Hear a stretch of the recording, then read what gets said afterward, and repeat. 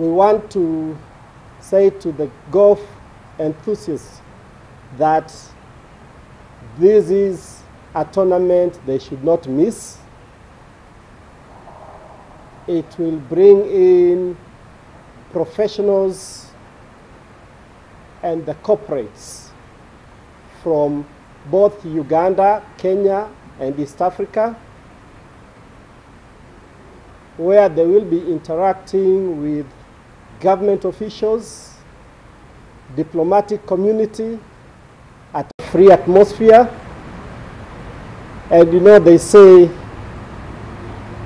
the best decisions are never taken in the boardrooms, they are taken in the golf course.